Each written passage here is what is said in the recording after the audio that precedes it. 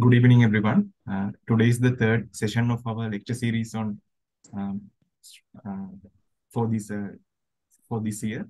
And today, uh, our past chairman, uh, Engineer Mrs. Kamal, Kamala Gunawardena, uh, Madam has uh, joined with us.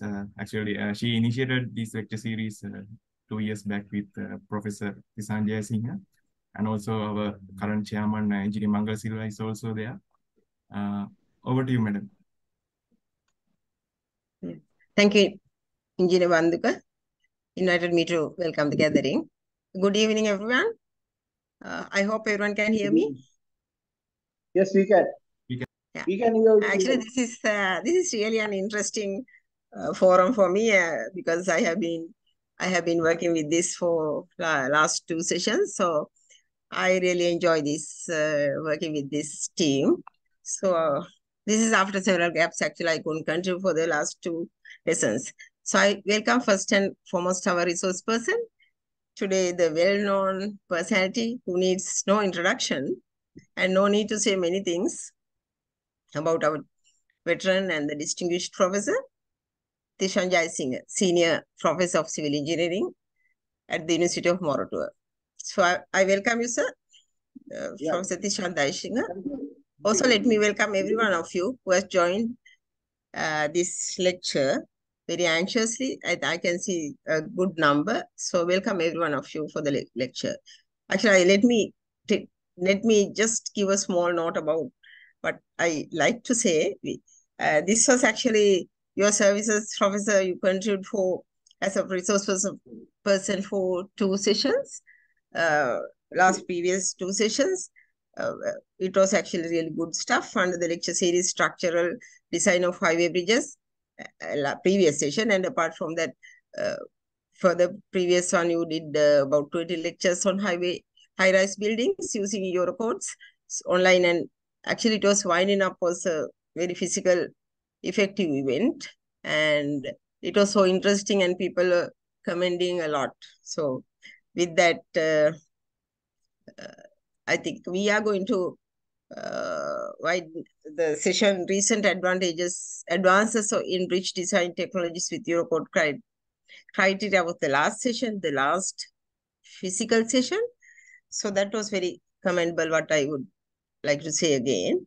So uh, it's a some it's a small brief uh, with a very very enthusiastic I I give this message to our members because I would like to request these members also to keep your momentum and make a good rhythm so this um, lecture series would be a very very interesting and a very effective one at the end of the session I think you all will be completing your uh, very beautiful number I mean, remarkable number about like eighty percent or ninety percent of your attendance. So it would be a it would be a very important thing end of the session.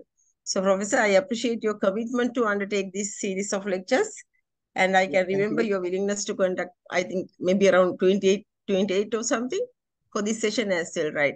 Yeah, I So, mean, maybe more than with 25 that, lectures. I invite Professor to comment the lecture on structural design of cost-effective lightweight hybrid multi-story buildings using Eurocode number three. I'm correct, no? No, two. Eurocode 2, please. Uh, Eurocode two. Uh, correction. Thank you. I greatly appreciate your acceptance for this session uh, under the chairmanship of uh, our uh, dynamic engineer, Engineer Mangal Silva. So he's around today. So we are starting the today's event right now, and it's uh, it's an honor for me to do this uh, instigating note actually. So over to you, Professor. Thank you. Thank you very, thank you very much, madam. Uh, Professor, I'm also here, so please continue. Yeah, Thank you. okay, okay, Mangala. Now, uh, uh, you all, uh, you can, you all can see uh, the sheet, white Yeah, sheet. we can see, sir. Yeah, yeah. Just give me one, uh, one second until I open. Uh, yeah, now it's all done. Right, whatever extra we need, we'll open later. Today we are going to talk about. Can you all hear me properly? Yes, sir. We can Yes, hear sir. you. Uh, we can hear. Yeah, yeah, okay. So today we are going to start talking about use of reinforced concrete. Because last two sessions we talked about how to make concrete. Now today we are going to talk about how to use reinforced concrete. So what is the first thing? The first thing, the fundamentally. Now we are inserting steel in concrete. Now what is the reason for this these two to behave together? The important thing is coefficient of thermal expansion of steel is concrete is about 10 into 10 to the power minus 6. Still, it's about 12 into 10 to the minus 6. So the, the coefficient of expansion are more or less the same.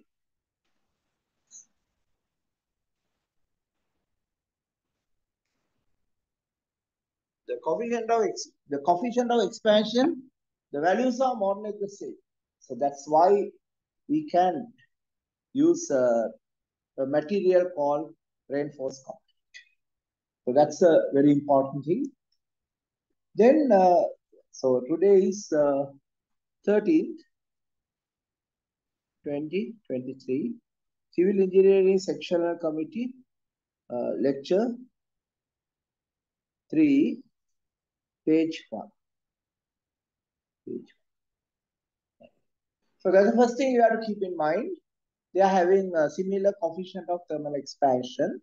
Because of that reason, we can uh, we can uh, use uh, concrete and reinforcement together. Now let's look at what we know, what all of you know. That is BS 8110 stress stress blocks. So that is part one.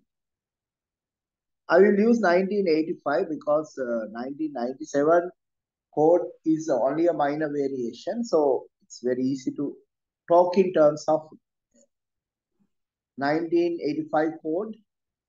And anyway, we are not going to use it. So I will, I will use the earlier one. Stress strain curve for co concrete goes like. And the maximum strain allowed is 3.6. This value is very important, very important value. And here, elastic. And then it goes into plastic. And uh, here, we have a magic number. And uh, so we have to see what is the magic number that we get here. So what we do is we test the cube. British standard, we test the cube. This 150 millimeter, 150 and 150. And how do we test it? We test it between two steel plates, the thick steel plates, what you call steel platens. So what happens is when you are applying the load, when you apply sigma, what happens is you get nu times sigma here. That is the Poisson's, Poisson's ratio. So with that, what you get is there will be micro cracks forming and finally the cube should break like this after the formation of micro cracks. Is it clear, Mangala? Yes, sir. It's all clear, is that right? Yes, sir. Yeah. So then what happens is, now these uh, plates, because this height is only 150, this height is only 150, these plates will restrain this concrete. So finally we say stress is equal to force divided by area. So the stress that you calculate this way, when we say uh, 20 megapascal concrete, so 25 or 30 megapascal concrete, we'll use 30 megapascal because it's now many people, many engineers use 30 megapascal. Uh, the reason is it gives a better durability and I explain you how to improve it even further by using fly ash earlier. So what happens is we use 30 megapascal. Then the actual strength of concrete, here you get 30. The actual strength of concrete is 30 multiplied by 0.8. 30 multiplied by 0.8. Then, then the other thing is we are testing the steel, the, the concrete in compression. But when you are using, we are using it in flexion. So, to, so here you get compression. And this compression is flexion caused by flexion. MOI is equal to sigma y type of thing, initial. But in reinforced concrete, the behavior is different because we say below the neutral axis, concrete is cracked. So because of that reason, we get this and this. And if you, because uh, if you look at the stress strain curve going like this, so what happens is gradually it will become like this. And we say rectangular parabolic. And in uh, BS standards, we said this equal to rectangular with a depth of 0.9x. So that's what uh, we, we said in the British standards. So this is number two. So I'm going to a new page now. This civil engineering sectional committee. Lecture three. Page number two. Is there any question you'd like to ask here? This is a simple theory.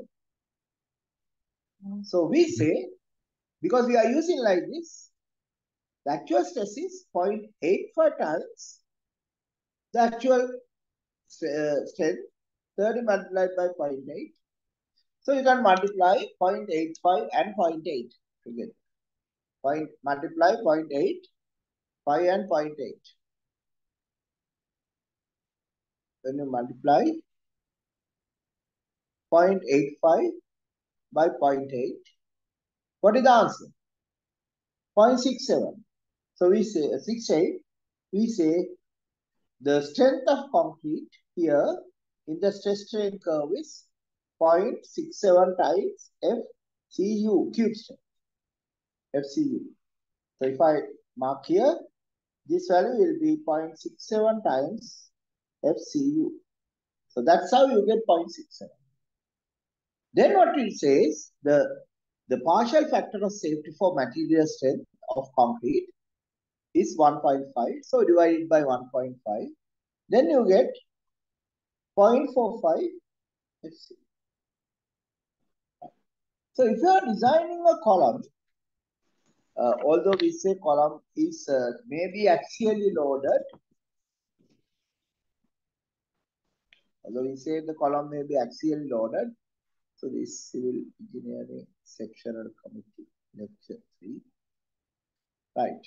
So if we say although the column is axially loaded, there can be, there will be a minimum moment that you have to consider due to 0.5%, sorry, due to 5% excess of the load. So because of that, we say the load carrying capacity N of a column is 0.45 times FCU. Now you know how you get 0.45 times FCU. That is 0.67 times FCU divided by 1.5 multiplied by area of concrete. So the load carrying capacity of a column is 0.45 times FCU multiplied by AC. But we can't construct a column without any reinforcement. The reason is, uh, you know, they, there can be cracks. Due to thermal movement and or other restraints, there can be cracks. So we are supposed to provide the minimum percent of percentage of reinforcement, 0.4%. So we say whatever the percentage, the area of reinforcement is then we have to make sure we take into account what the steel can carry. That is FYAS. Uh, the area of steel in compression. So we can say AC.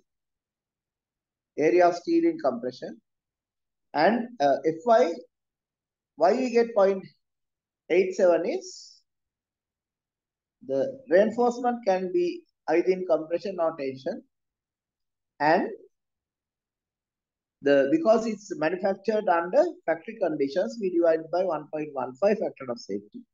And you get 0.87 times. So steel, whatever the strength specified by the factory is the strength. But we have to we have to have some factor of safety. We have a small factor of safety, 1.15. So now you can see, now we must get this strength. And how are we going to get that strength? What we do is we have to cure the concrete. Once you pour concrete, the strength is zero. After one day, you get 10% of the strength. So that we can remove the shutters. What many people do in Sri Lanka, after that they think uh, now it's it's hard, nothing to worry. They don't cure sufficient. Very few people pay enough attention. But I showed you why curing is important because we have to continue this strength development process, number one. Secondly, when you cure, there will be a lot of hydration taking place in the cover zone and we'll end up with the cover without voids because calcium hydroxide generated will have a higher volume than the original cement particles. So the, all these materials that are reacting will have some higher volume, but they are not hard materials. So the, whatever the spaces available will be occupied by whatever these uh, extra materials. And that way concrete can become denser. Dense concrete will not carbonate easily and you can get a structure lasting a long time once you cure it. On one side, it will be strong. On the other side, it will be durable. So when you are using reinforced concrete, make sure minimum of seven days of curing is essential. I mean, if you can do little more, it's even better. By at least keep it moist. But keeping it extremely moist for seven days is essential. But uh, in many sites in Sri Lanka, we can't see this type of uh, attention paid to the paid to cure. Uh, Banduko, what's your suggestion or Mangala? What do you think? Yes. I mean, Yes, sir. it's not easy to, huh? Hello, sir. It is, yeah, it is not easy to persuade people to continue curing for seven days. Very Yeah, yeah, it's very difficult, sir. Yeah, but what they have to understand because you know all our calculations are correct, not at the twenty percent or thirty percent strength. Our calculations will be correct if we cure it and achieve the desirable strength. And for that, the modern cements needs about seven days of curing. Modern cements need about seven days of curing. That's why we are proposing that we use at least 10 to 20 percent fly ash. Minimum of 10% fly ash will make sure there's enough material in it. So whatever the calcium hydroxide is produced, the, the, the reactions can take place later, gradually, where the uh, fly ash starts reacting with whatever the calcium hydroxide produced as a result of curing process. So if you look at the attitude of the people, and I was looking at uh, Hilton Hotel, recently, which was built over 40 years ago. The specification said, cure the concrete for one month. Cure the concrete for one month.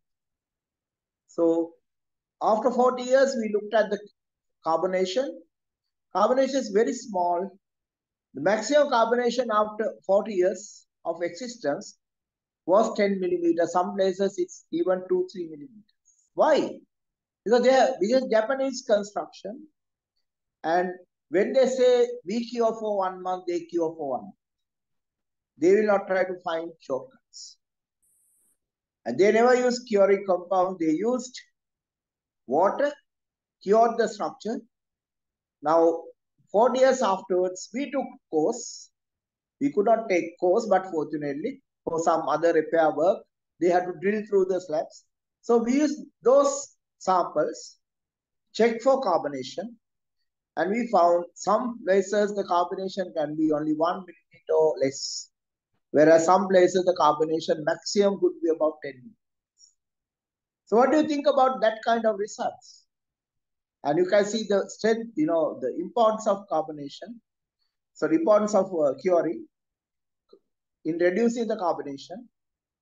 So I'm sure if we uh, take, if you are allowed to take more samples, you would have found the average carbonation, that is penetration of the low pH regime into the concrete due to carbon dioxide penetration or absorption, it would be in the range of 3 to 5 millimeters, which means a well-constructed structure like Hilton Hotel will have a lifespan maybe in the range of 150 to 200 years. But uh, based on our limited resource, we, we said without any fear, it, can, it will have a trouble-free service for another 35 years. Because for any investor, 35 years is a long enough period to make decisions.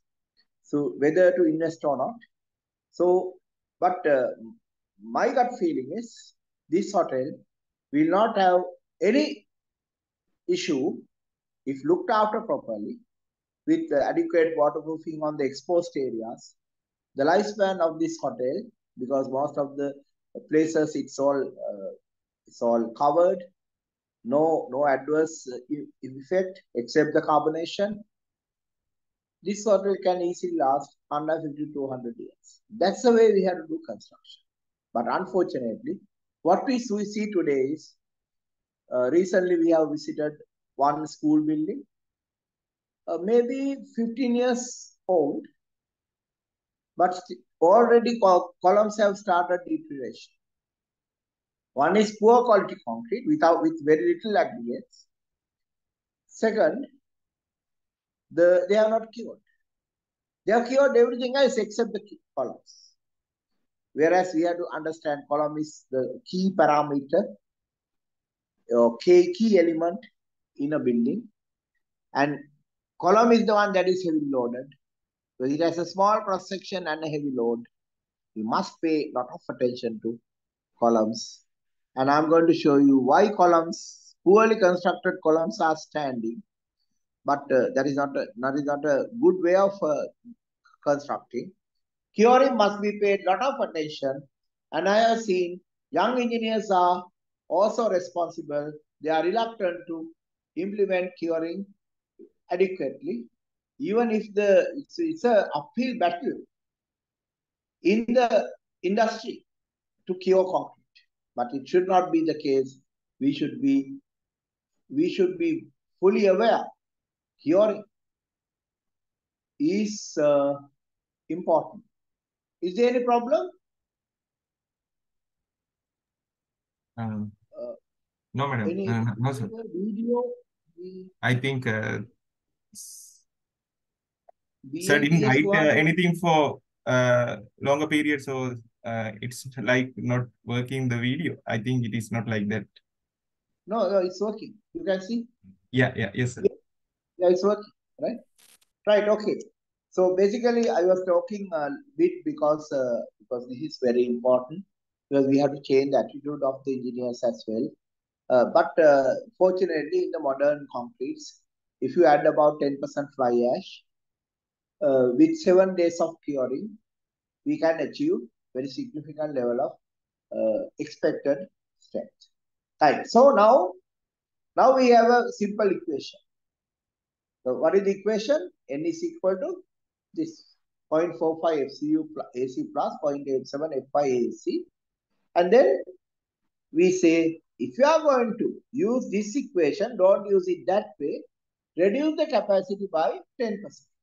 So that means you get 0.4 FCU AC plus 0.75 FY AC.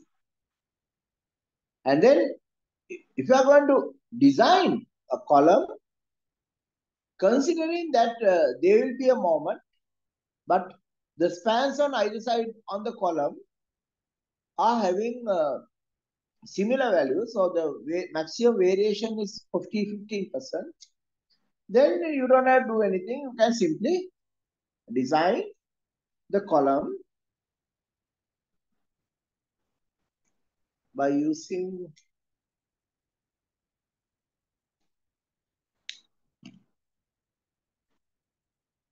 don't do any calculation n is equal to 0.35 FCU AC plus 0.67 FY AC. So if the moments are going to be small, just write, write one equation and that equation is a 10% reduction. So N is equal to 0.35 FCU AC plus 0.67 FY AC. That is ceiling. So what you have to do is take the column, find the steel area. Steel area is concrete area AC is equal to A multiplied by AC. So if you can, if you want, you can substitute that way. Otherwise, some people just ignore it because already we have reduced and the steel ratio will be about 0.4 to 1%. Right. So in a column, what is the amount of steel we have to produce? Well, we to provide. This page. What is the amount of steel we have to produce? Provide. Amount of steel is 0.4%. If the column is lightly loaded. So in a two-story, three-story, four-story building, you can provide 1%, 4.4%. But if it's a tall building, we it's, it's we can't say it's a lightly loaded, it's heavily loaded. Then you have to provide one percent. So any any any column that you suspect that it is heavily loaded, you have to use one percent. So that is why when you are doing the piles, we know piles are very lightly loaded. So we can provide about 0.7%. Even 0.6% might do. Because what is needed minimum is 0.5%. Right. So in a pile, the minimum need is 0.5%. You can provide anything above that. So in Sri Lanka, often we provide 0.7 to 0.8%. 0.7 to 0.8%. So uh, now you can see why we have these values. Pile has a massive area and under working stresses, we say the stress on concrete is 0.25 times FCU. So it is lightly loaded, 0.25 times FCU. So the pile needs only about 0.5% reinforcement. Uh, to be on the safe side and also to make sure uh, the reinforcement cage is sufficiently strong generally many engineers like to use about 0.7% reinforcement, but even if you drop it to 0.6%, it's not going to be uh, any problem. But then you might ask, oh, what is going to happen due to earthquakes? So in the earthquake, what matters is not the longitudinal reinforcement, what matters is the spiral. So in an in a pile with a pile cap, where the hinge, hinge occurs, hinge occurs here. So in this area, you have to have confinement. So start seeing here, you have to have confinement. So generally, it's a good thing to have T10 at 100 centimeters, the spike. But when you are going here, no problem. No, no plastic hinges, so you can easily go for 150 spacing because too much spacing is also sometimes detrimental. But if the experienced piling contractors might use even 200.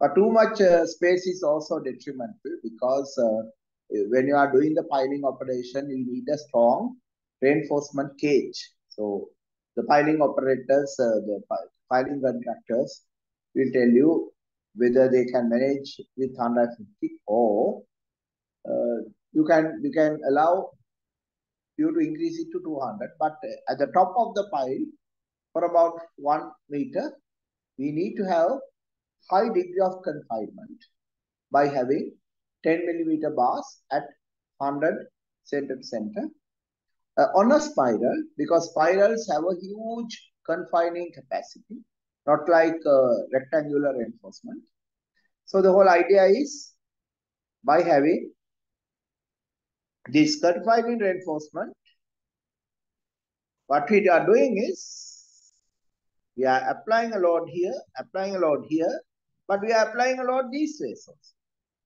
So there's a spiral to confine. And so when you are when you apply this load, there will be a stress this way, mu times sigma. But due to the spiral, there's a huge confinement. So what happens is the behavior of concrete will, will not be like this, that is unconfined. The behavior of concrete will be like this. So you can see there's a huge area under the concrete stress strain curve and that gives uh, the ductility. ductility. So in the case of piles, what we need is ductility or ability of the pile to absorb energy. And how we achieve that is not by increasing the vertical reinforcement, but by increasing the confinement. So that's why we like to have T10 spiral at 100 millimeter centers. And if you look at any uh, typical bridge detail, you'll find the engineers have used T10 bars at 100 center to center at the top part of the pile. And that is to make sure the top part of the pile is pile as concrete that is confined a lot so that it will not be, uh, it will not disintegrate easily because there's a huge strength in concrete. When you have a three-dimensional stress state, like you know the way that you do tri triaxial tests in uh, soil mechanics, once you apply the stresses in all directions, all as compressive, then the compressive strength of the concrete, 30 megapascal concrete that you use will not be 30, it can be 45. And that comes not because the concrete is strong, but the confinement is high. So that's how we'll prevent earthquake damage on piles. So in Sri Lanka, because it's a low seismic country, piles can be constructed with 0.5% reinforcement onwards. So it's up to the design engineer to decide whether you use 0.6%, 0.7% or 0.8%. So it's totally up to, up to the structural engineer. And uh, again, if you look at uh, piles, so, so because I'm talking about compression members, one of the key compression members will be piles. So what happens is, in the case of a pile, so this is the pile, and if you it is subjected to say 7.5 newtons per millimeter squared or 7.5 megapascal stress. So 1 megapascal is equal to 7, 1 newton per millimeter. So what is the stress condition? So we have 7.5. And then if there's a bending moment on it, generally you don't get a big bending moment, you get a small bending moment. And then what happens? It will be give a stress diagram like this. So what is the resulting stress diagram? This. Now, these are all in compression. If the whole thing is in compression, why do you need reinforcement? You don't need reinforcement. So because of that reason, when you have a long pile, 30 meters, and if the soil is good, laterite, so the confinement is good, there here you can have something like clay sand. So when we when Professor B. L. Dennacon taught us piles, he said six meters of rainfall. But you don't have to be, uh, you can be little uh, lenient on it. So you might say either 9 meters or 12 meters of rainfall. Right? And unless the pile is in tension, you, you need only 9 meters or 12 meters of uh, reinforcement. If the pile is, is going into tension, then you will need more. But uh, if the pile is going into tension, there's something wrong with your design. So because of that reason, uh, I will show you later how to deal with this uh, pile going into tension and or how to ensure that the pile does not go into tension. For that, you have to actually work with the architect and make sure the shear walls are loaded. So if the shear wall is loaded, shear wall will never go into tension. If the shear wall doesn't go into tension, you can't have pile going into tension. So you have a wall, pile cap, piles. If the whole wall is in compression, can you have a situation where the pile is in tension? No.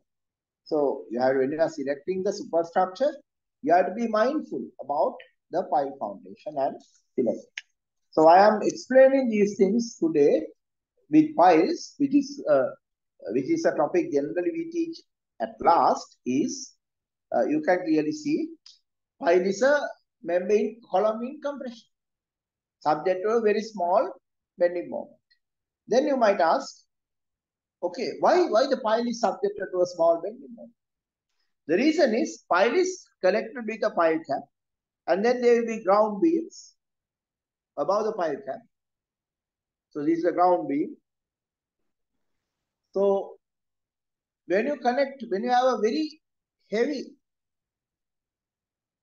member at the top as a beam, then the pile will be subjected to very small bending moments. And I will later show you these piles can easily take any moment up to 500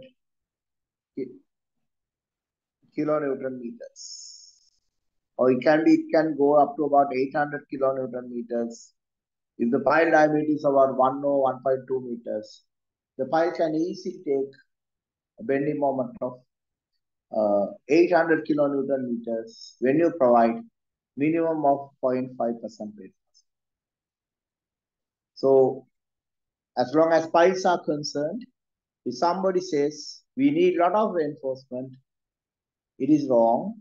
We need some reinforcement to uh, make sure the piling, uh, the, the reinforcement used, the cage, reinforcement cage that we use is strong enough to be handled because we have to lift it, lower it, we are doing a lot of things and uh, because reinforcement is not that important and because and also because we are using QST reinforcement, what we call QT bars, quenched and self-tempered. These bars can be welded without losing strength. So you can use welding and make sure the cage is strong. The reason is, you know, the reinforcement is not important. We need some reinforcement as a precautionary measure, but piles are very, piles have a very high moment capacity arising due to the fact pile is in compression.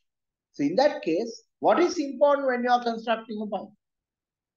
What is important is verticality. What is important is vertical.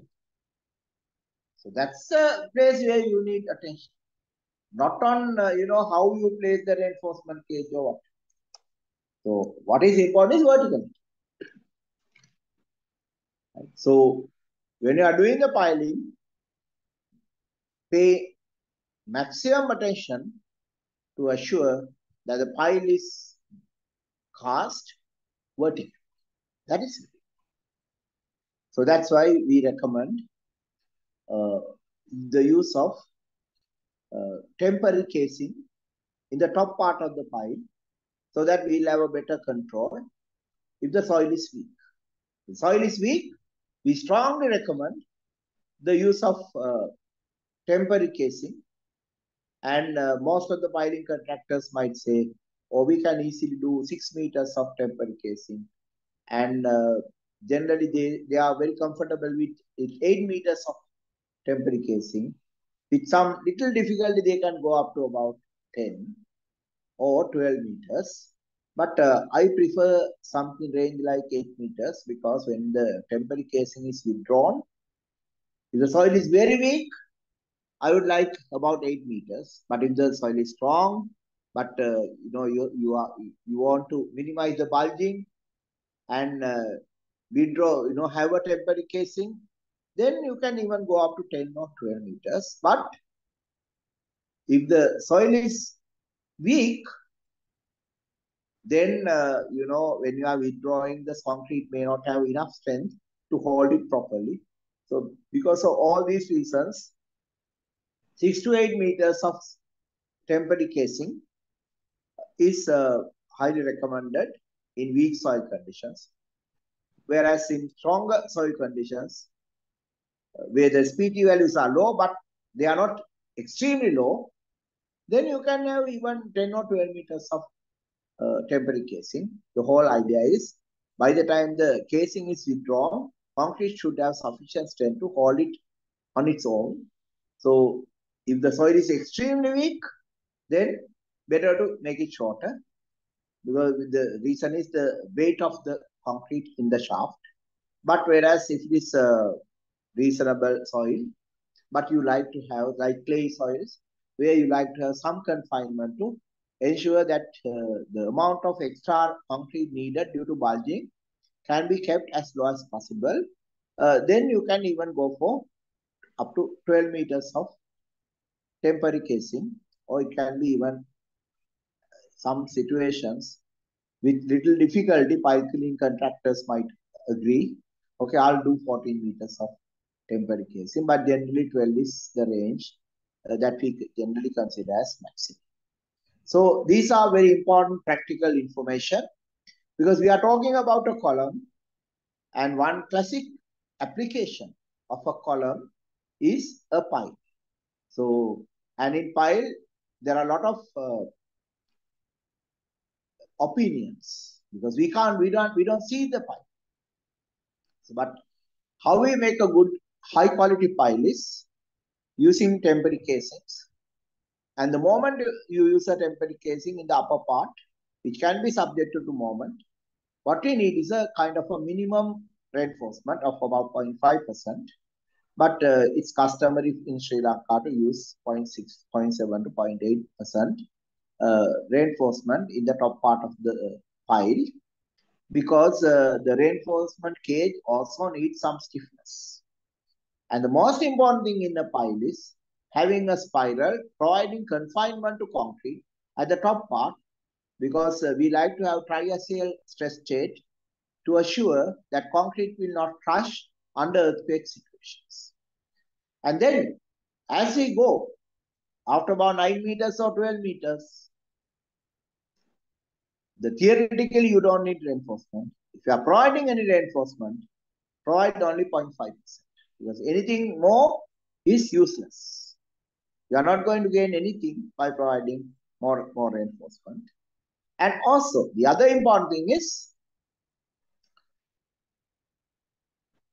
if you are curtailing the reinforcement, you are not going to lose anything.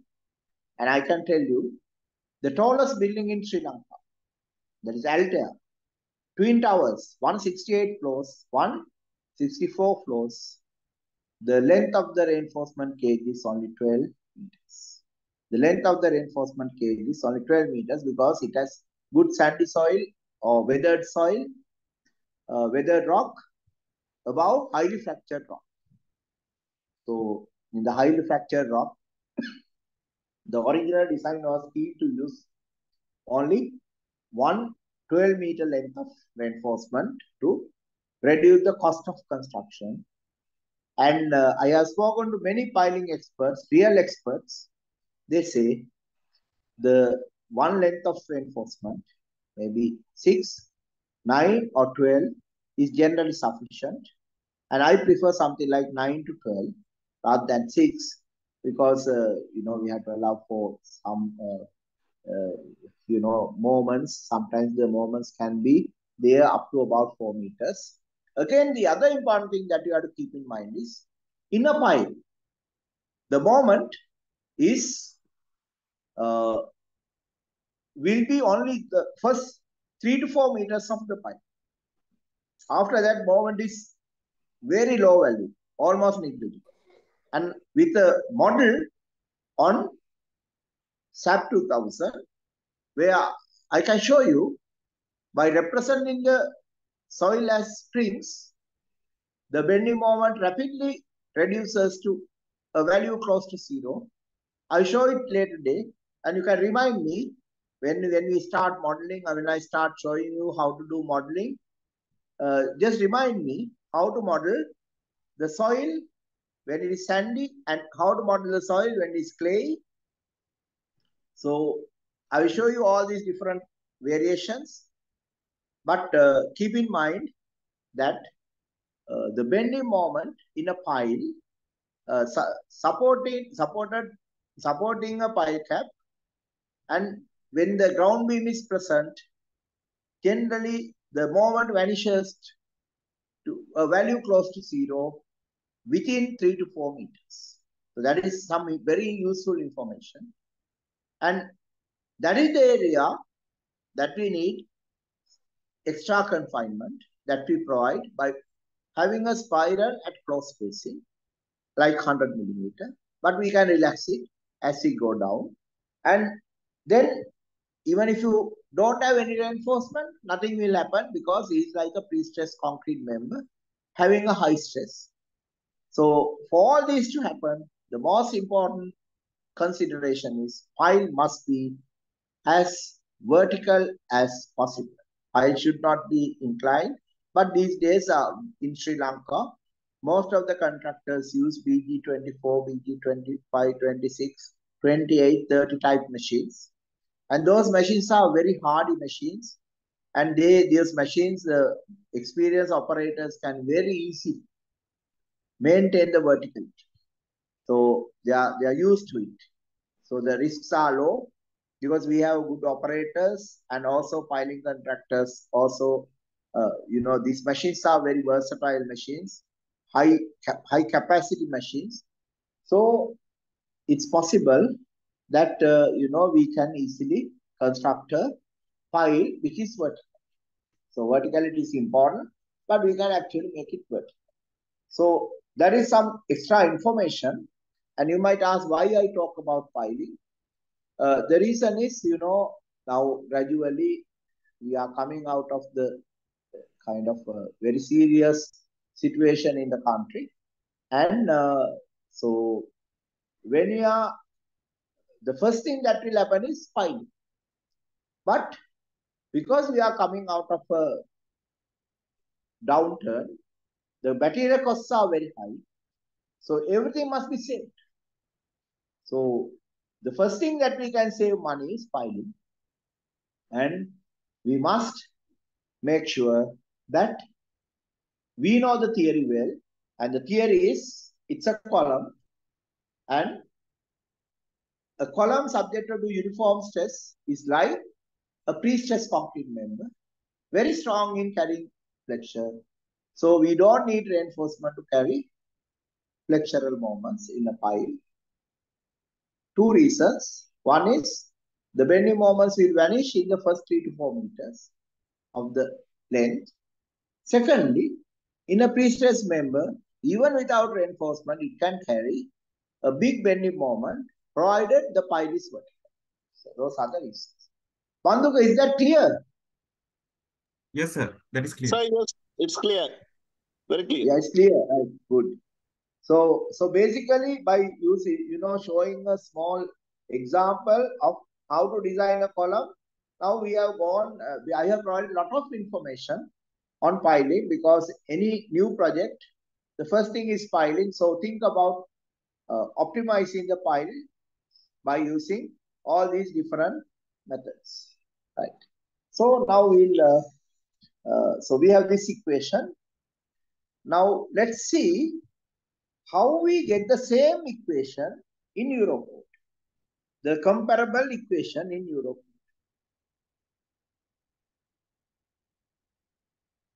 The comparable equation in Europe. So now I'm going to do the derive the same equation using Europe.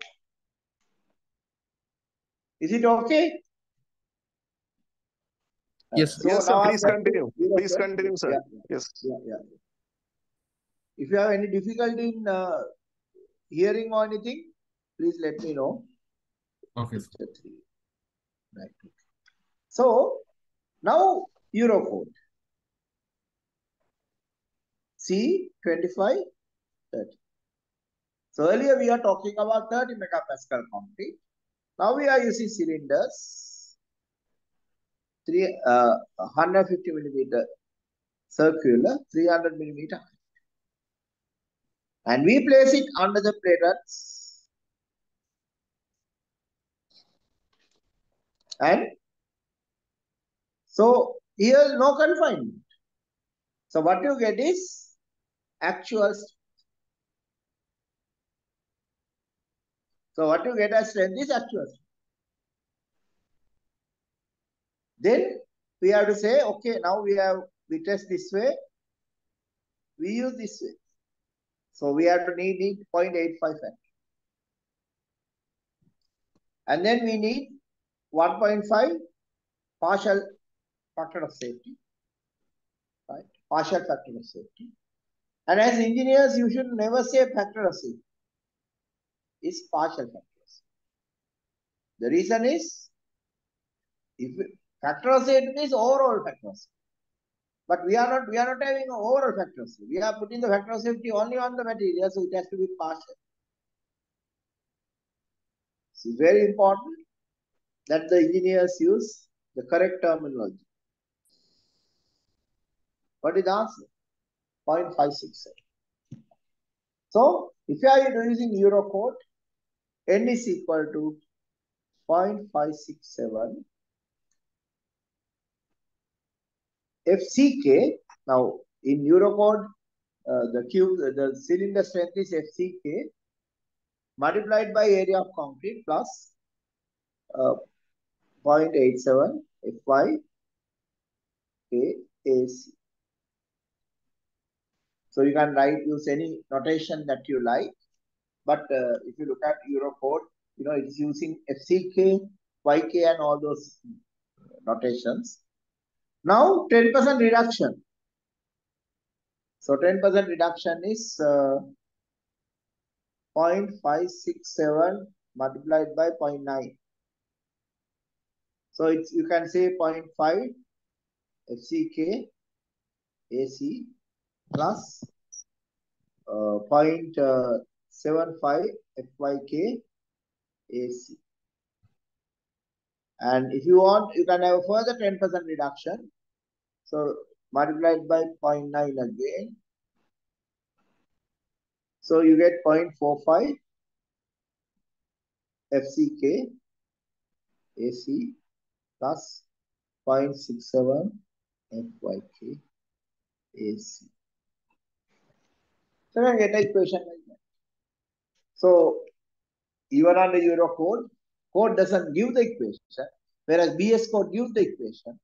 So we can use BS code approach where the you have a beam supported by a column and this side 7 meters, this side 6 meters. So what is the difference? 6 divided by uh, 7. So it is 15% difference.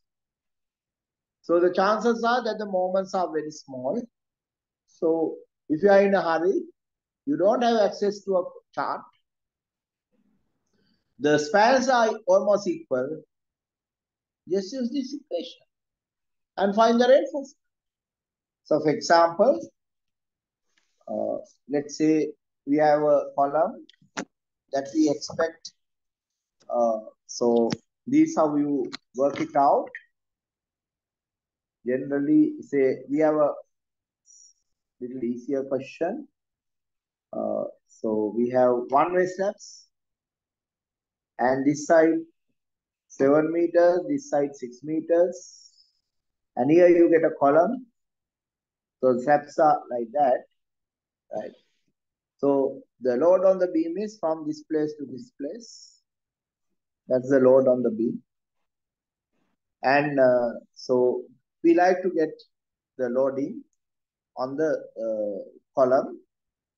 And uh, so how do you find the loading on the column? These 7 meters, 6 meters on this side.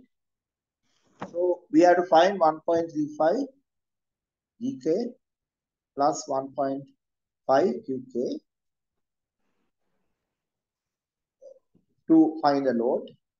So there are some magic numbers for this. For a house, this value is 8 for a house.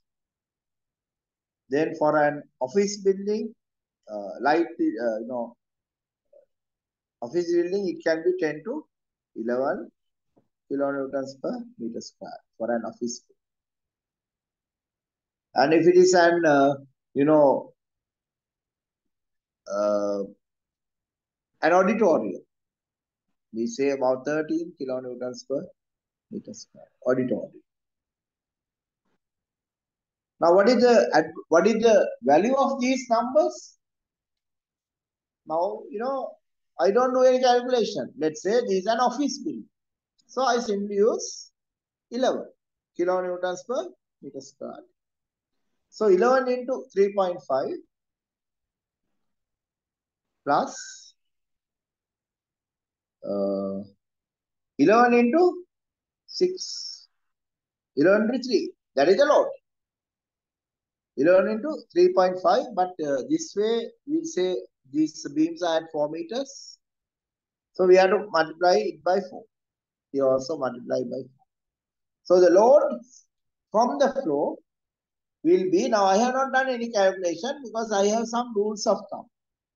So for an office building i expect the design load to be around 11 kilonewtons per meter square. For but, but for a house i would expect something like 8 to 9 and uh, this will include the weight of the beam as well. So when you use these numbers, so what I do is I don't do any calculation to find the exact loading because I know some numbers and straight away I, I find the beams are spaced as 4 meters. So 4 meters of load will come onto this and the load is 11 and so the load on the beam is 44 kilonewtons per meter over length of 3.5 meters because there's a span of 7 meters. So I get 154 here and 11 multiplied by 3 multiplied by 4. So I get 132 from this side. So the load is 154 uh, plus 132. So from this low, low flow, I am getting a load of 286. 286 and uh, let's say i'm doing a 10 story building having a grid like this. The grid is on one side you get 7 meters the other the spans are 6 meters. And uh, the beams are located every 4 meters. And uh, they have been uh, designed as one way one so just to just to make things simpler right uh, they say they are they have been designed as uh, one way slabs because and some other places you will get eight meter spans as well. So the design has decided, okay, I'm going to design everything as one way. Six, seven. Right. So now 286 load comes from one floor. And let's say we are in a 10 story building. And uh, so there are 10 floors and we are going to design the most critically loaded one. So there are nine floors above, and I'm going to design the column at the ground level. So nine floors above means 286 into 9 is the load from above. And that gives into 9, 2574 kilonewtons. So I have to find the reinforcement for carrying 2574. But you can see the bending moment is uh, very small because both sides are fully loaded. Both sides are fully loaded. So if both sides are fully loaded, the columns will cancel out at the uh, column. So I'm going to say, okay, the, the load on the column is 2574 kilonewtons. Now comes the important question. Right. What is the size of the column that we need? Now, would it be, would it depend on axial load or earthquake resistance? Now, which is governing? This or this? Or both? Yes, it's both, but the earthquake resistance is more important. So you can see we are having spans like 7 meters. So what is the section of the column? Beam. So section is likely to be 300, 600 by 350.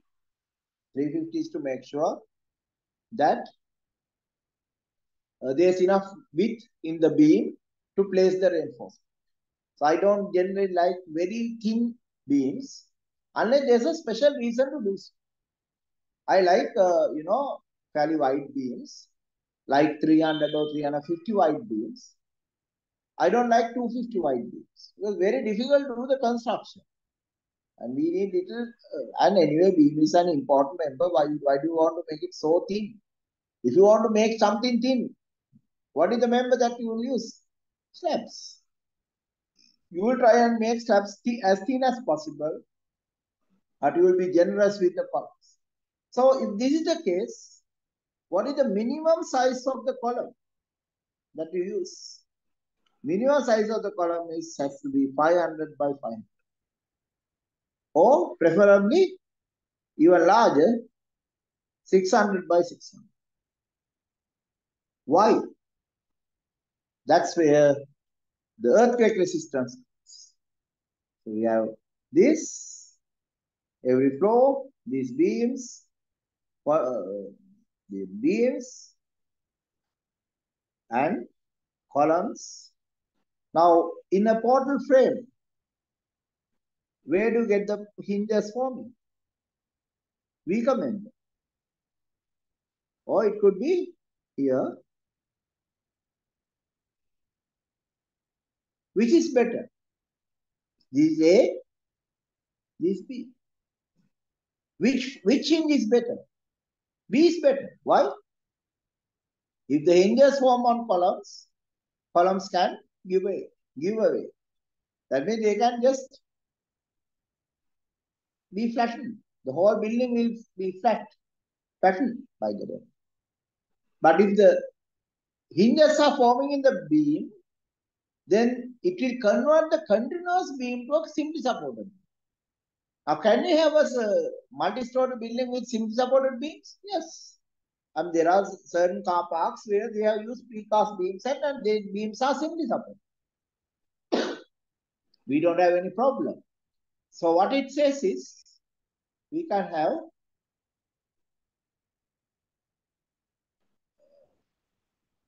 the precast uh, beams and make it uh, simply supported. So if you have a plastic hinge forming in the beam, it will convert the continuous beam to a simply supported one after a certain moment.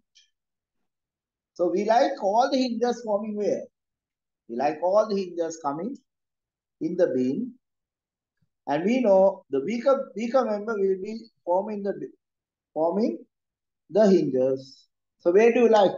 What is the size you like? You like a column larger than the like a column larger than the. So let's assume based on this information, we have selected a 600, 500 by 500 column because 500 by 500 column is uh, fairly large and it is larger than uh, 600 by 300 B. So the hinges will definitely form on the um, on the column uh, on the beams. So now we have a column size. Now, can you see how I arrived at the column size? It is not based on uh, the carrying capacity. It is based on the earthquake resistance. So I have a column now having 500 by 500 carrying a load of 2574 kilonewtons. And so I say N is equal to point, uh, the equation is point four five FCK AC plus 0.67 FYK AC.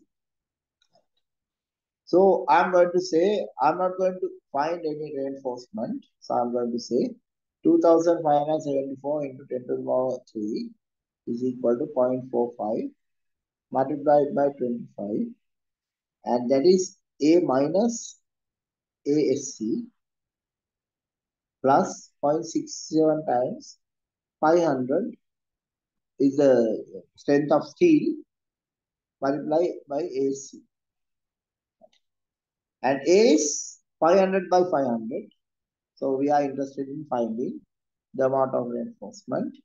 So we are going to say 2174 into 10 to the power 3 minus 0.45 into 25 into 500 by 500 because now the column size has been selected based on the earthquake criterion and that is uh, equal to 0.67 multiplied by 500 minus 0.45 times 25 times SAC and from this we can get the answer. So the answer is uh, we get AC as sometimes I might get a negative value that means I don't need reinforcement. That can happen. Then I'll provide the minimum reinforcement. Or because these are 10 story building, I'll provide 1% reinforcement. So we get 2574 minus 0.45 into 25 multiplied by 500 multiplied by 500 and as I told you, I'm getting a negative answer. Divided by whatever comes here, it doesn't matter. So I, I will calculate that also. 0.67 multiplied by 500 minus 0.45 multiplied by 25. So that is uh, 323.75. I'm getting a negative answer. That means no design. No design reinforcement. But because it's a 10 story building, I'm going to find 1% reinforcement. That means 500 into 500 into 500 into 500 into 0.01. So the reinforcement will be 500 into 500 into 0.01. So I get 2500 millimeter squared of reinforcement. So the, the amount of reinforcement, I'm providing 1% reinforcement because that's a heavily loaded uh, column because we are designing a column in a 10 story building. So what I do is I will see. So if I'm going to use 16 millimeter bars, the area is 201. So I can, what I can do is I can divide this by 201 and I will need uh, about uh, 14 bars. And uh, because I'm deliberately providing, I can even provide 12 bars. Slightly less than 1%, but it's okay, very close to 1%. So what I can do is 16 millimeter bars. I need 12 bars. So if I provide 4 on one side, 4 on the other side, 8, and I can provide 2 there, 2 there. Now comes the important question. Now we are concerned about earthquake resistance.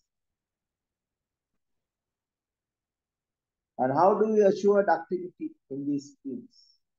In this one. how do you assure ducting? So the hinges again, if they, ever form, now we have sure the hinges will not form, but if a hinge ever forms, where would it form? There. Hinge will form there. So how can I, how could I make it uh, strong? So what I do is I will have one link going right round and 8 millimeter diameter. We call it now, now it is H8, not, not T8, H8, because we are dealing with Eurocode. So the moment you are dealing with Eurocode, you have to change the numbers. And I will provide one link here and another link here. So that is the arrangement. Why? I like confinement for concrete. The best way to provide confinement for concrete uh, uh, sorry, there's some comments, so I, I will answer those again. So basically, I like to have confinement. Why? Confinement can, so we confine the concrete in all directions. The strength is very high, strength is very high. So we confine the concrete, so we provide something like 100 millimeter center to center, H8 bars for about 0.6 meters.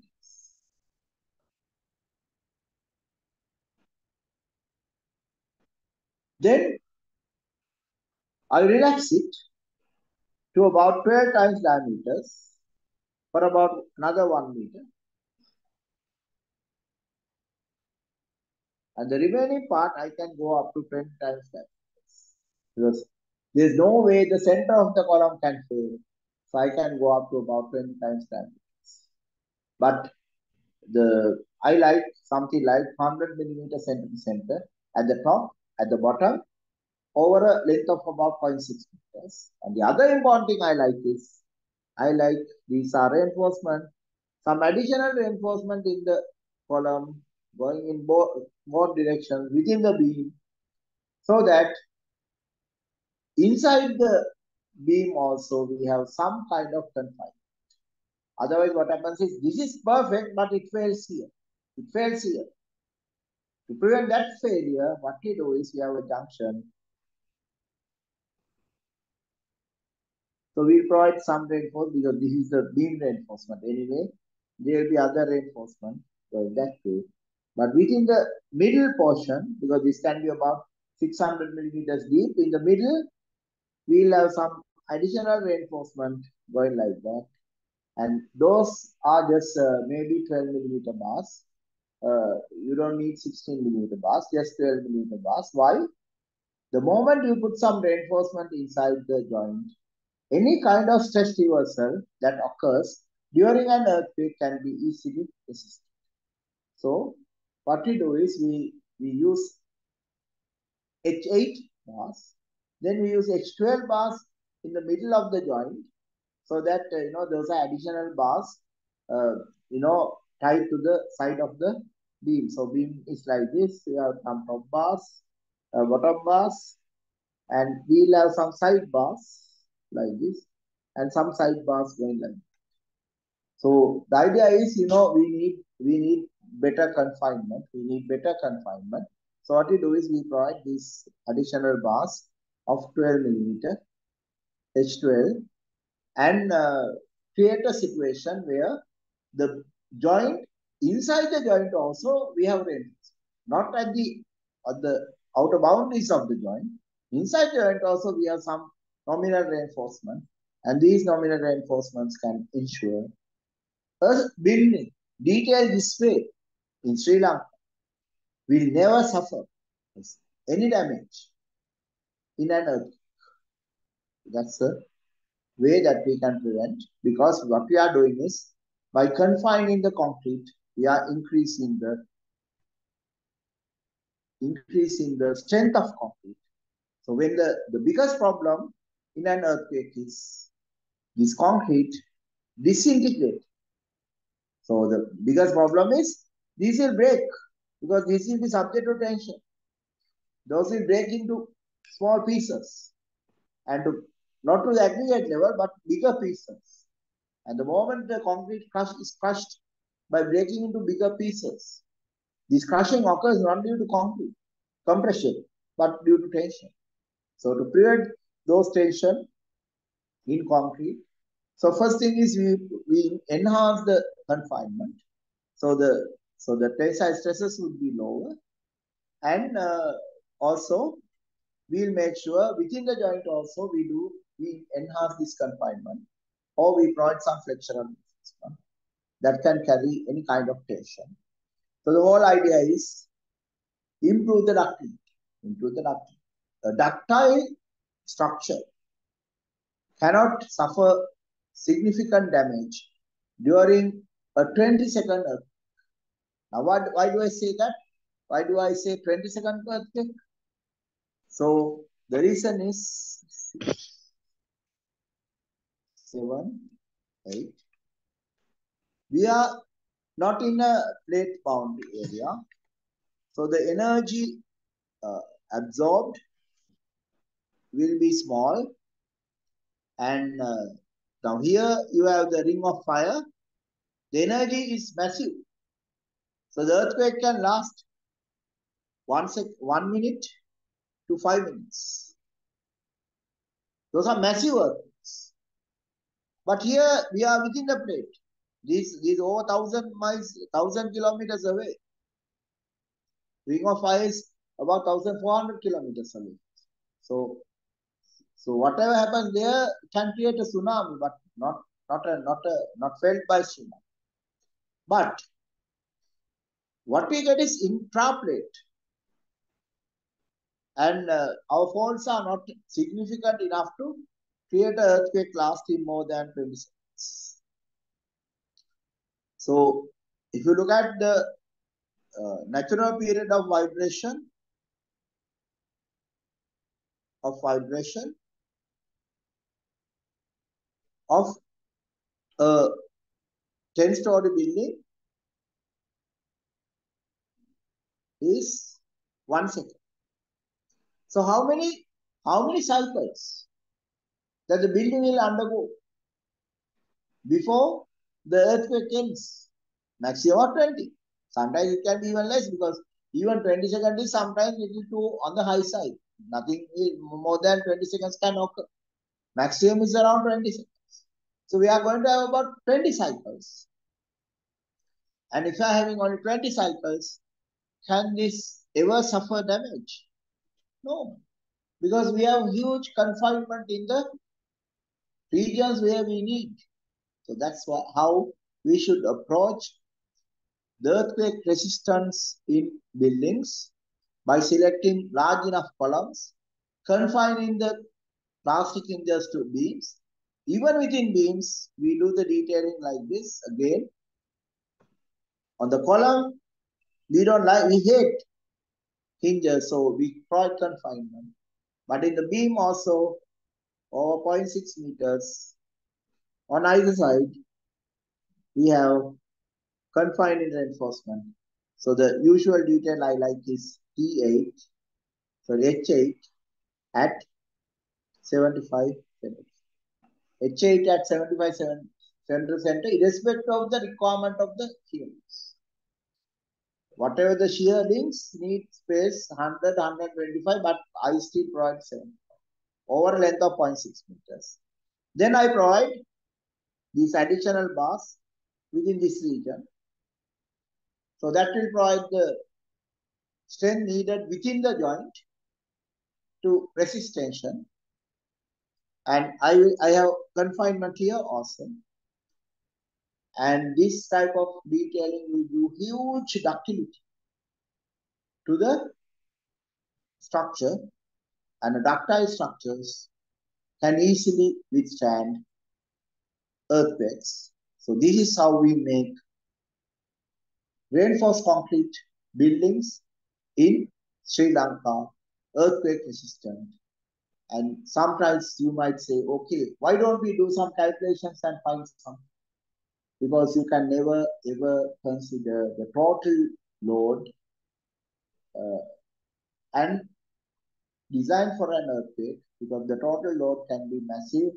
So how we actually resist earthquakes is not by designing for a force, but by dissipating the energy. To dissipate the energy without suffering any damage, they should we need huge amount of ductility.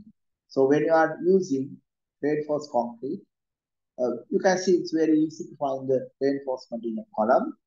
But what matters is not your direct calculation. What matters is how much ductility you are providing in the structure. And also how you have assessed the risk of failure. So what is the advantage of providing this kind of the kind of reinforcement detail I showed you? Now, you know, these uh, in a 10 story building, first two floors can be car parking. So if a car ram onto this column, if it is 500 by 500 or 600 by 600,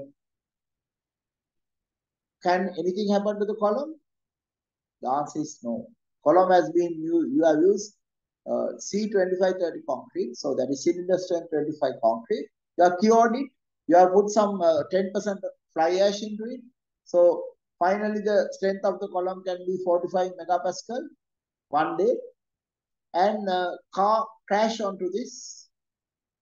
Car will be a wreck, but building will not feel anything. Very safe. And another day, earthquake strikes. There's huge amount of confinement in the columns. So columns cannot anyway form hinges because columns are bigger than beams. So beams might form one or two hinges, but it doesn't matter. Why? When you are designing a beam in an earthquake resistant structure, we know there's a possibility for hinges to occur here and here during an earthquake. So what we do is, what we do is, if the hinges form, what happens to the bending moment diagram? Now bending moment diagram comes like this. And it says, okay, now this is, beyond this I am not increasing. So any extra load will come here. So what we do is when you are providing reinforcement, we provide some little extra reinforcement in the beam. The moment you provide some little extra reinforcement in the beam, bottom, bottom steel, even if the hinge occurs in the beam, still the beam can never collapse because it has a huge capacity at the most critical section, that is the span section. So when you are detailing, what you do is go for this. When you are detailing the beam, what we do is we use some hanger bars, provide extra reinforcement here, provide extra reinforcement here, but only marginal. Don't provide any extra because there's no point in providing extra. Then we provide extra reinforcement. And here we provide actually extra. So when you know, need uh, four numbers of H20, we might provide 2 H20 plus 2 H24. We will be little generous in providing reinforcement because the moment you do this, you can minimize the reinforcement everywhere else except in the span knowing very well beam is going to fail. If it ever fails, it will fail at the center. Now I'm going to provide extra reinforcement to prevent this failure. So this is how you have to look at reinforced concrete design. But I'm sure most of you would have mechanically done it without understanding what's going on. So you have a bending moment, you refer a chart or do a calculation, provide the reinforcement and you provide little extra, you don't know why what's going on in the structure. But this is how the structure is going to behave when it is subject to dynamic loads. Static loads are not, uh, not important because uh, the dynamic loads are more critical. And so you have to look at the dynamic behavior of the structure and decide how you are going to do the detail. So with that, Manuka, shall I uh, stop the lecture? And I can answer whatever the questions in the yeah, chat box. There are uh, several questions. Uh, Yeah, can you uh, ask, can you read them? Sure, sure, sir. Uh, what will be the adverse effects if rainwater accumulated on fresh concrete and during curing curing period? No, it, there's no effect because uh, what matters is this this huge there will be huge amount of calcium hydroxide produced. So rainwater can have only uh, what you call uh, carbonic acid, and it will be neutralized in no time. Right? Okay, So sir. there's there's no acidic effect of rainwater because when you when you, rainwater is even good because it has no chlorine. Okay, Bandhu? Yeah, okay, sir. And also he has asked another question. Uh, how can uh, explain it the minimum time duration to start curing with water after casting? No, actually, the most important thing is uh, we are in a tropical climate. So, so you have to protect the newly laid concrete from direct sunlight. Because direct sunlight can uh, evaporate the water very fast. And if the water evaporates too fast, you will get plastic shrinkage. So you must make sure either you start concreting around five o'clock in the evening, so that no no no direct solar radiation on it. Otherwise, you have to cover it. But after around 15 to 20 hours, you can start curing. Because the moment the water is not absorbed, you can start curing. Okay, sir. The, the maximum duration is 24 hours. Before 24 hours, you must start curing. okay, sir. Basically, before the sun rises next day, you must start curing. Okay, sir. Because, you know, the moment sun rises, you know, it's gone. Sunrise means intense uh, uh, solar radiation, around 800 watts per square meter. So if, if you allow the water to evaporate, very difficult to get it in. So you must ensure whatever the water that you have used in uh, concrete, it remains within concrete. So that's the criteria. So by looking at the uh, climatic conditions, you have to decide when to start curing. But uh, these modern cements, uh, you know, allow you to start curing after 12 hours. Okay, Bandhu? Okay, sir. And uh, the other question is uh, how we can ensure the skin friction of the soil on the pile if we use temporary steel encasement. Oh, no, no, you don't have to worry because soil has a habit of uh, settling, uh, you know, recovering. Because, you know, when you do a pile, you use bentonite and you, you do everything. Skin friction is low at, in the initial stage. But if you allow two months, the soil has the habit of regaining its uh, lost capacities and then you will have find the skin friction is very high. So we don't have to worry about it. Okay, We sir. can withdraw the casing and soil will uh, automatically do the rest. We don't have to worry about it. Okay, sir. And uh, again, uh, another participant has shared his experience. Uh, he Yeah. has experienced some high uh, high class bungalow house, three story building with basement, where column Yeah. sizes are 250 into 100 and 250 into 1000, and long span beam sizes are 300 into 700. In this case, Yeah. can we expect hinges from in the beam? No, actually, actually, if it is a three-story building with such massive columns and beams, hinges will never ever form. You can see it's out of proportion. Is that right? They're massive. Yes. So if they are massive, the members are massive, then the plastic hinges will not form because the structure itself has a huge capacity. They are like shear walls. Thousand meters long and uh, millimeters long and 20 to 150 wide. It's not a, it's not a, it's, it's on the margin of a column. Because anything more, say 1200 by 250, then it's a wall. It has to be designed like a wall. So, so, so nothing can go wrong in that structure. Okay, sir. And uh, another question, uh, I have seen some column reinforcement details such a way that there are four vertical reinforcement in the core of the column. What would be the reason for that? No, actually, in that case, the it's not a detail that we need. But some engineers, you know, uh, due to many, there are some reasons, like, you know, now you see, let's say you are going to have pre-stress uh, in the beams. So pre-stress can move the column.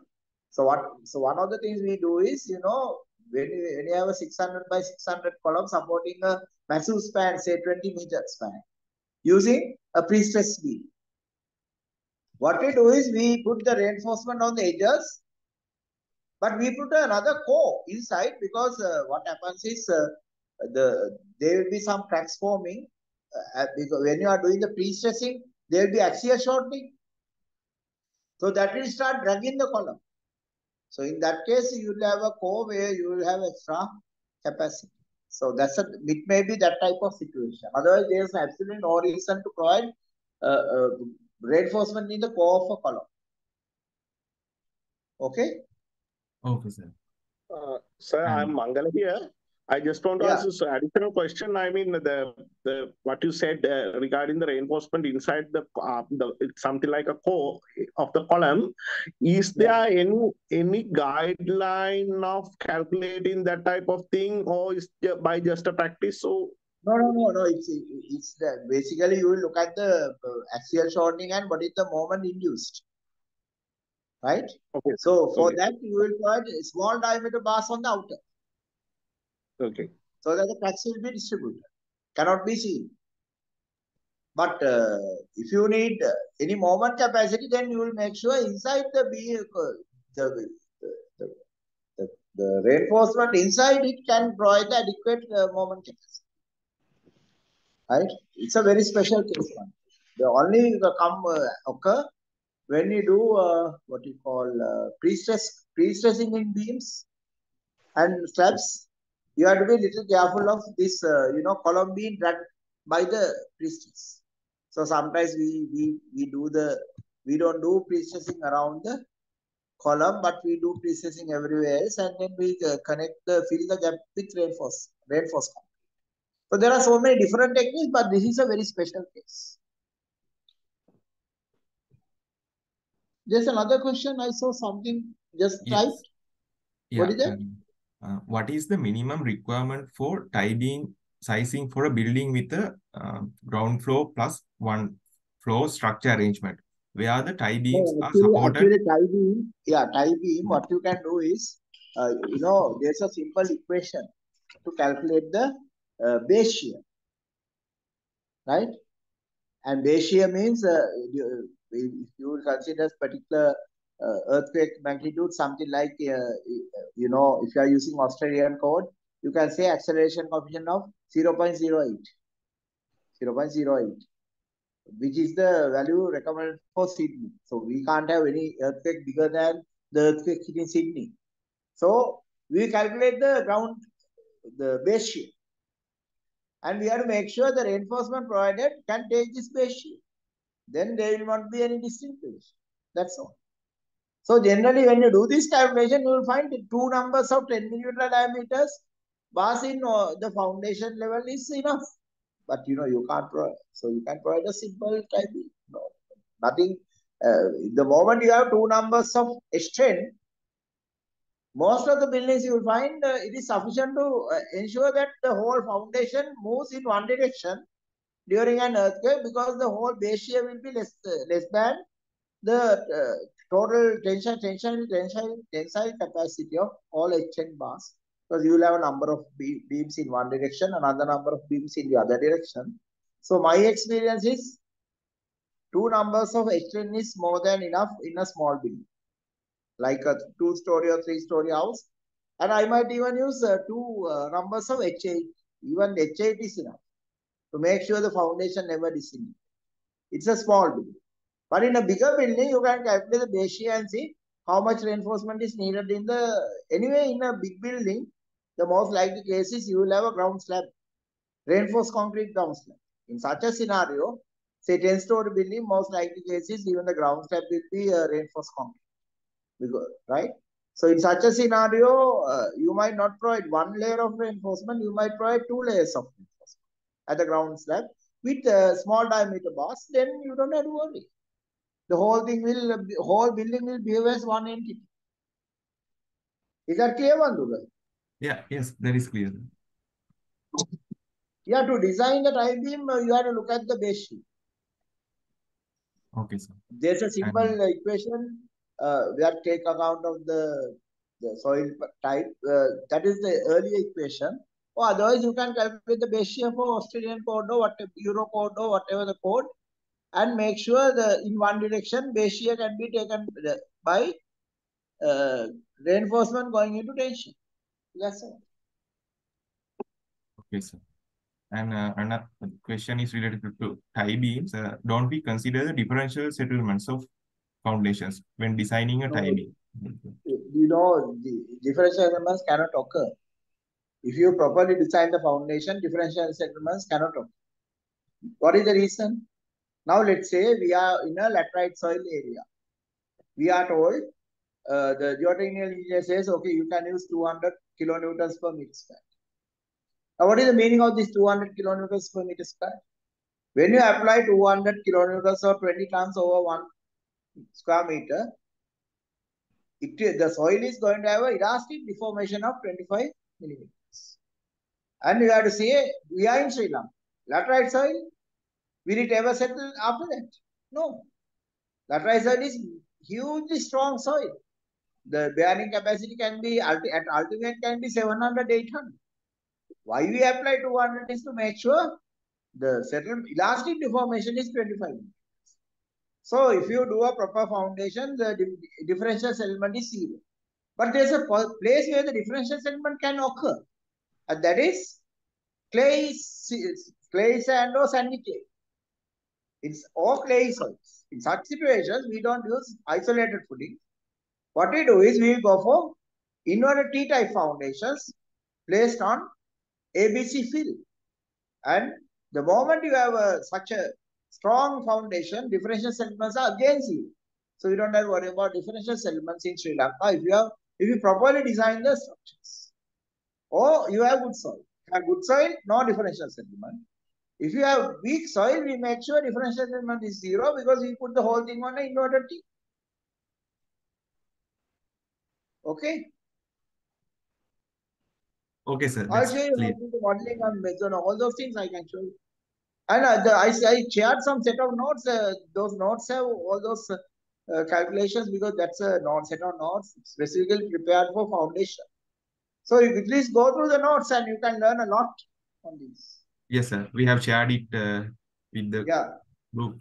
with the group, Mm. right? So, so just ask them to go through the notes. Those notes are actually uh, for MSc in geotechnical engineering, and you can learn a lot from from those notes. Uh, so, so basically, uh, the ideal is to go through the notes. And uh, in Sri Lanka, you can't have differential. If you have properly designed the foundations, if it is uh, even if it is isolated footings on laterite soil, no no differential settlement. If it is a weak soil, you we, we because they can be different settlements, you put the whole thing on inverted very stiff foundation. Then again you can't have differential settlements. Is that clear, Vanduga? Yes, sir. That's clear. Uh, seems like the questions are over for now, sir. Yeah. Okay. So shall then we'll wind up. Okay, sir. And um, I would like to. Uh, okay, uh, someone has asked to share the notes. Uh, actually, uh, we are sharing the notes uh, in our WhatsApp group. Uh, someone has put the email address. Uh, we'll share to that also. Okay. Yes. And uh, we are uh, thankful to Professor Thishan Jayasinghe for conducting this lecture series. Actually, this lecture series has become very interesting among practicing engineers. Most of the questions they arise and uh, they are getting cleared on them. So this has become a very interesting lecture series for all practicing engineers. Thank you very much, sir, for sharing thank your you. knowledge on that. And also, I would like to thank the chairman, uh, Civil Engineering Section Committee, Engineer Mangala, Mangala Silva, for initiating this uh, timely lecture series uh, for this year. Thank you very much, sir. And also, I would like to thank the IESL Secretariat, IT Department, and the Publicity Depart Department for hosting facilities for this lecture series. And also, more importantly, I would like to thank all the participants. Uh, your uh, enthusiasm and uh, interest on the subject and questions, all these things make this lecture series a success. So uh, our like next next lecture will be on next uh, Wednesday at uh, 7 That p.m. is uh, 20th, is that right? 20th. Yes, that is 20th. Are we conducting Yeah, on 27th as well? Yeah, we- We will conduct. yeah, 27th, yeah, I will let you know. So generally, I have kept all Wednesdays free, Okay, but sir. because It's fine. family conference is coming and there are so many things happening, Yes. uh, so 27th is also a possibility. But if Okay. there's any change, I will inform them. Okay, sir. Okay. And But, but uh, I have all, all, all Wednesdays free, generally. okay, thank you very much, sir, for that. I never And- accept any appointment on Wednesdays. Uh, Okay. only during daytime, uh, after four, no appointment. So generally, I, I will keep all Wednesdays free so we can continue. Okay, Thank, thank you, you very thank much. you very much, sir, for I mean for your dedication. Thank you very much. On behalf of Civil Section, I would like to say thank you again. Thank you, Professor, and thank you, Madhuka. Okay. Okay, Yeah, thank you very much, sir. Thank you. Yeah, I'm going to leave. Okay, thank you very much. Okay, thank you. Thank you, sir. Thank you very much. Good night.